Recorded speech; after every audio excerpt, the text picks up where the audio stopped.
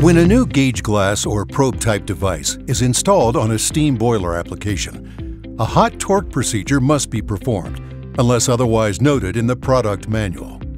For example, Simpliport gauge glasses do not require a hot torque. This procedure ensures that all bolting and components are properly seated for optimum performance. The hot torque must also be performed after any maintenance is done to the equipment.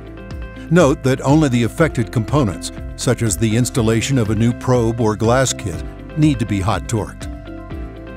All work must be done by a qualified technician. All plant rules and procedures must be followed, including any lockout tagout requirements. Always use caution when working on hot equipment.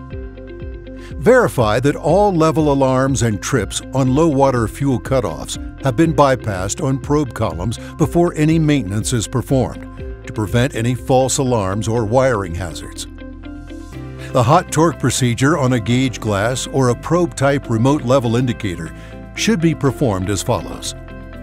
Isolate the gauge glass or probe device from any pressure. Fully open the drain valve to evacuate any built-up pressures and to allow the contained steam and water to escape during equipment warm-up.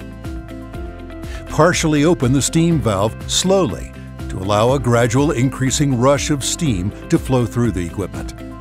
Do not open the valve fully, as we only desire a gentle rush of steam for heating.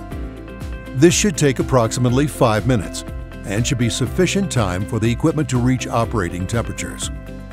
When the equipment has been properly heated, close the steam valve. The drain valve should remain open to allow any residual steam or pressure to escape.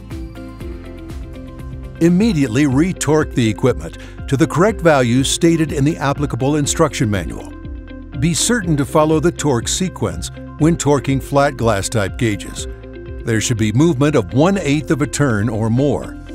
If there is no movement of the bolting or probes, the equipment was not heated properly. Repeat the procedure.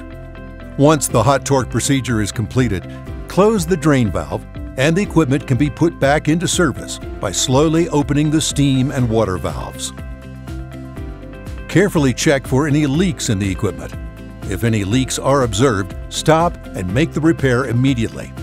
Then verify proper operation of all illumination, relay controls and wiring or other accessories. Remove all bypasses from alarms and low water trip circuits that were applied.